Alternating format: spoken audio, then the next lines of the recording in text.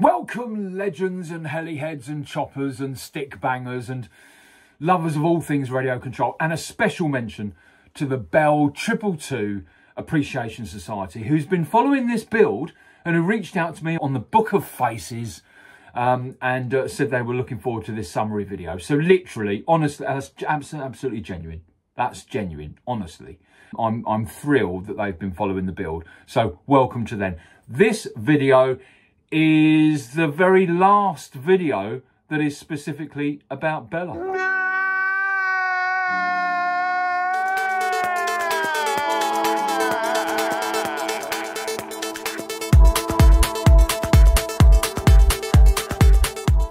Now, all good things must come to an end, and as I said, this is Bella's last dedicated video. So we need to make sure this video is not a repeat of the previous updates or part of the build, and we need to make sure that our time here, mine and yours, is meaningful. So we're going to be covering areas that will be of use to you if you're building a Bell Triple Two. We'll look at some of the tools that I used and I simply couldn't have done without. We'll look at some useful materials. We'll also then look at Bella at the improvements that we've made on Bella and we'll also then visit some lessons learned that I've come across since completing the build and since Bella has had her first three test flights. You know what? I love my wife. I've been married to her for 30 odd years. Um, and I spent most of that time speaking to myself. And it would be nice to be able to break that habit and know that I'm not just speaking to myself and a handful of people on the tube of you. So do consider subscribing for me. Cheers. Right, let's dive in. Okay, let's have a look at these tools and materials that we're going to need that are absolute necessity to build this helicopter. Now, you'll be glad to know I'm not going to go intimately through every single one of them and spend minutes on each one. I'm going to zip through them. But I do want to say that this is an addition to normal tool set that you will require for maintaining your helicopters. Okay, first off then, very high bonding tape, different sizes. When you get this very high bonding tape, always go with 3M, don't skimp out on it. And when it turns up, it will be very, very sticky on both sides. Go upstairs into your bathroom, get some baby powder or, or talcum powder and just pour it on and rub it in. You'll be able to store these without these sticking to each other. Alcohol, make sure you get that. You'll always need it. Decent microfiber cloths over here different coloured tape because we can use that to make minor repairs and try and get coloured tape that is matching to your machine. In this case, red, white and black, red, white and black. A permanent pen, a decent pencil, needle files, which without doubt have been the best required tool for all of it. You'll need these for all sorts of things as you go through. Likewise with the hand drill. This represents a Dremel and that is required. Decent hook and loop tape Again, don't skimp out on that like you shouldn't skimp out on the very high bonding tape, which is not cheap. You know, this is 30 quid's worth of tape there, but it will pay you back in assurances that it's not going to, um, you know, making anything come loose where you use it. A decent, decent scalpel set, a caliper, a decent runer, a 3.5 millimeter stainless steel rod. You can get 10 of these on Amazon for about six quid. You'll need those for the retracts and you can see that in the video up there. Different types of liquids now. Tipp-Ex because you will bash your frame as you're building it. When you bash this frame, it will chip the paint and the Tipp-Ex acts as a good consolidator and making sure that the paint doesn't chip any further. When it comes to making the repair better, then just by simply using alcohol you can wipe it away and then you can make the repair permanent different types of super glue uh, this one's medium but you need thin medium and thick and they all have different uses as you go through the build epoxy five minute epoxy is good and decent Loctite for your donor machine. This is t243 243 is better than 242 243 you can put on oily surfaces. A paintbrush because you will at some point brush on super glue. Down here we can see these plastic bags and these plastic bags you can get 500 of these on eBay for about a fiver and they're perfect for you dolloping a bit of super glue or dolloping a bit of thread locker on there and they will stay on there in liquid form and it won't harden so very very useful. Decent scissors, decent tweezers. Now onto materials this piece of wood here represents uh, represents three millimeter thick plywood. You'll need that for your floor. This represents the carbon fibre here, 100 mil by 120 mil, 1.1 millimeters thick, and we're going to use that to reinforce Bella's floor on the outside underneath, and we'll see that in a minute. This here represents, it doesn't represent, it is, uh, it's the consolidated foam. It's not the foam that you take to the bath and scratch your back with. This is fairly sort of um, you know, fairly tough foam. And in this case, I've used it to layer both sides of the plywood for Bella's floor. And this here is modelling A5 size modelling sheet grate. And you can pick up three sheets of that for, uh, you know, next to nothing. Now, is that everything? Oh, a paintbrush, because we always need to brush out the inside of the fuselage. I think I've covered these weights, but they represent ballast, ballast, ballast? Yeah, ballast and we'll cover that in a minute. Now, uh, is that everything? Yeah, I think it is. You know, one thing that I've left out of here, and that is a glue gun. But I've left it out on purpose because, really, being honest, if I, well, now I know what I know, I wouldn't have used the glue gun, but a glue gun is very handy to have. So, glue gun. Goodness gracious, I left three vital items off. Well, neodymium magnets, you'll definitely need those when it comes to putting the windows in. Just these small little um, ones are fine, but you'll definitely need those. And you'll need some form of uh, magnet on a stick or a magnet that will bend as this will do uh, with a little light on the end because undoubtedly when it comes to you fitting the mechanics inside you'll drop a screw and in order for you to be able to get that out you'll have to take the main mechanics out and it'll be a right nightmare. So trust me on this, make sure you get yourself an extendable telescopic magnet with a torch on the end. If you don't have that and you drop a screw in there, the last thing you want to do is not be able to get it out. Right, now let's look at the improvements. Okay, improvements. Let's take the windscreen off.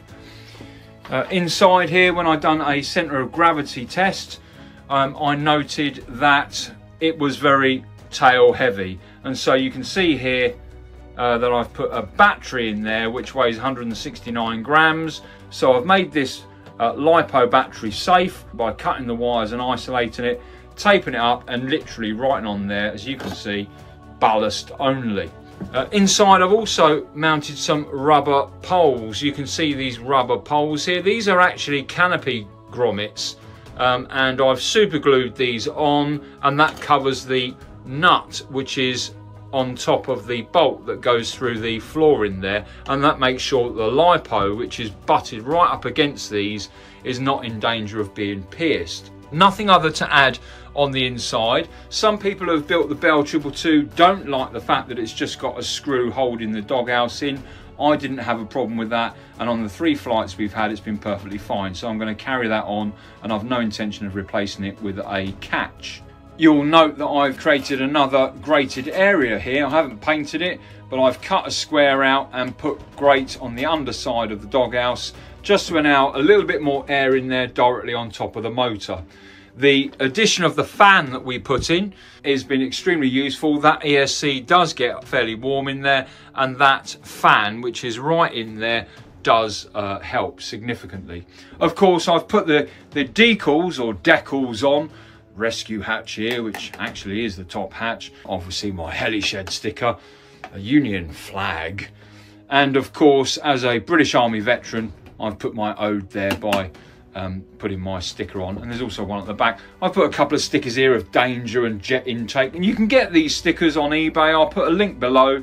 Really good. And I've put some other heli shed stickers around it, etc. Coming to the doghouse, you can see that, as we said in update 3, which you can see here, I've put some canopy trim all the way around here. Hopefully you might be able to see that around the top. And all the way around and super glued that on the inside and then just made sure that the ends meet with a bit of super glue on the top there. And that just gives the uh, doghouse a nice even look to it. And of course, the arms on the blade grips are able to move, the swash is able to move and so on. Coming along down to the side, well as I said there are the yellow dots uh, which obviously tell me where those holes are and I'm happy to have that. A friend of mine did actually say well you should replace that with red and I may well do that actually. but you know, I'm not trying to hide the fact that there are holes there and it's a very quick, easy reference for me to know. And very simply by taking those off, I can see the hole underneath. Moving along to the back here, I've got a Union flag up at the top there and a British Army flag at the bottom. Now putting Bella on her side here, we see a nice British Army flag at the back there, a Union flag, and crucially the carbon fibre plate that I was talking about, which just ensures that tightening the floor down there actually is uh, equaled out by that carbon fibre plate. When they make this fuselage, they make it in two halves.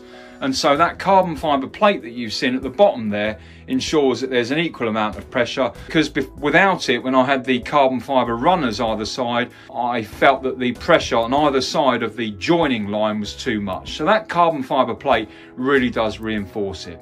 Okay, what have I learnt? What are the lessons learnt so far? First of all, it's bloody difficult to transport this. Unlike a pod and boom that you can just chuck in your car, you can't chuck this in your car. You've got to have some form of way of being able to mount it in a cradle and you've got to make sure that it's secure and safe. Ultimately, this only has to have one slight hit against the side of your car and you will cause damage. I've also learned that as I've built this, you know, the slightest dink, the slightest touch against the shed as I've been moving it around has caused damage to her and of course I've had to repair that. Even now I've got a repair that I've got to make on the tail. We can see here, hopefully you can see there, excuse the finger, but just there is a crack that has appeared and that was from getting the helicopter out of the car. Now I've got a big old car, it's an estate car. There's plenty of room lengthwise but this is an awkward helicopter to move about. So transporting this has been difficult. Also, underneath, of course, we've got our spotlight, which means that Bella can never actually be placed down without having additional pressure on this spotlight position. Um, so that is a weakness of it. Now, I'm not intending to remove this spotlight at all. I'm going to keep it as it is. But again, it's something to consider. If that wasn't there, then I could put Bella flat down with her gear up as she is now with no dramas. But because that's there, I can't do that. The build cradle that I made for her, and Bella has been on this and you've seen that a lot, I actually found that this was ideal to use this um, afterwards. One as a shelf, as you can see, and two, to actually mount Bella on top of that, tie her down, um, and then transport her like that. So she is transported on that cradle rather than on her belly. Now, I'm not about to do some sort of uh, self-immolation here in the heli shed, but this system here is a way in which Bella is held up and uh, we'll cut to that now so you can see that.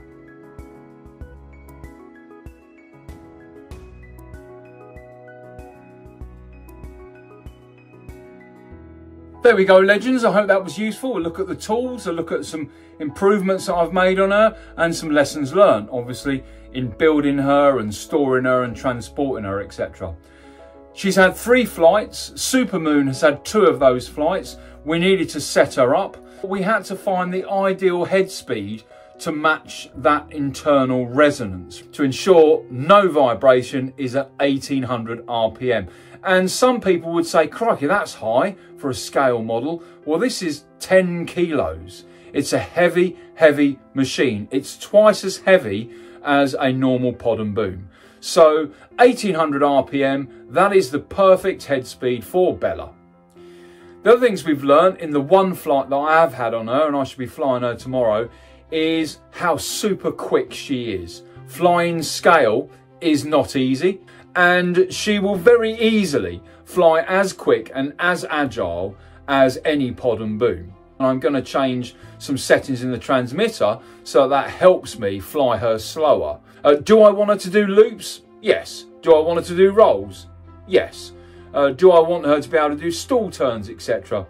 Absolutely. So my aim over the next few months is to now give her some good flight times. And as I said, the aim is to have her first public maiden flight on August the 14th, 2023.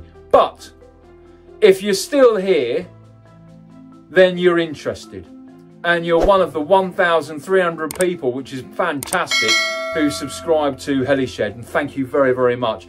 And if you are still here, and if you have been following this story, then you deserve to see her having done a little flight.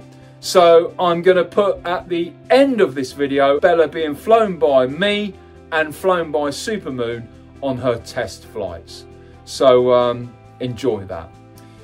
That's it. That is the end of Bella's story. It's been a wonderful, wonderful journey.